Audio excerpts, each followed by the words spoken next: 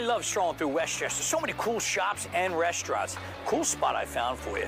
They brew their own beer in small batches, and how about some oysters to go with it? Let's go to Greystone.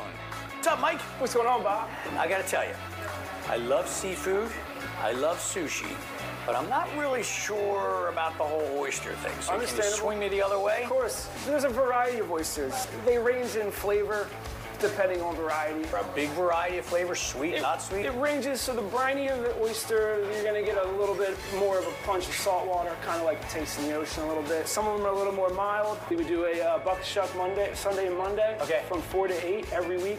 That offers a variety of select oysters, so Okay. they can you can pretty much get as many as you want. The blue points everybody knows. Generally, it's a pretty common oyster out of Connecticut. All right, so I'm a newbie, a rookie. Let's give it a try. What would you suggest? Well, let's Set go with up. the blue point like we just talked about. Get one of those out. I'm gonna shuck it for you right here. We take great care here to make sure that all of our oysters are fresh and kept fresh appropriately. So I'm gonna pass that off to you, Bob. That's your blue right, point go. oyster. You have a cocktail sauce and a red wine vinegar mignonette. Maybe a little bit of squeeze of lime. Just slurp it That's all you down. gotta do. Here we go.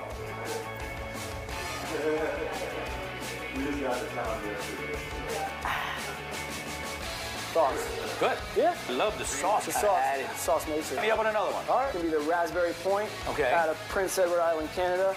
Canadian oysters. They're a little bit on more on the mild side, so you're gonna get not as much of a brine coming out of them. A little less salt flavor. Is there a pearl in there? No pearl, unfortunately. It's How a often little, does that happen? It, it's, it happens on occasion. It's rare. Here we go. Up.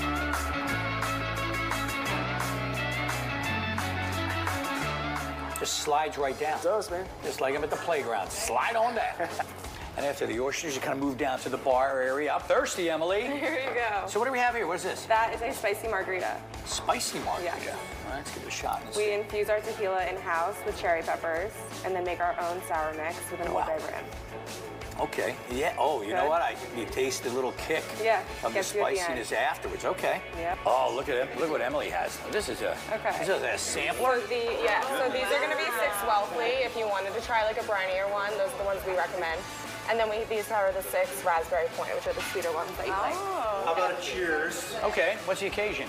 My birthday. Happy birthday. It's your birthday. oh, what's your first name? Bertini. Berti- it's Bertini's birthday! Happy birthday! Cheers! Oysters for everybody! Bottoms up to the birthday girl. Boom! All right, I moved on from appetizers. What do we have next, Emily? All right, here is our lobster roll and our tuna poke bowl. Wow, first of all, it's. I love a good lobster roll. It's good because it gets messy. Oh, great. Is it good? This is our Greystone Brew House. Uh, we have our very own brewers who come in. They'll brew our beer for us. Uh, this is the beginning of the process.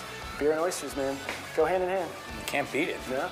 Bob, I can't let you go without having an oyster shooter. This is our Greystone shooter. Fresh shucked oyster at the bottom with our signature Bloody Mary mix at the top.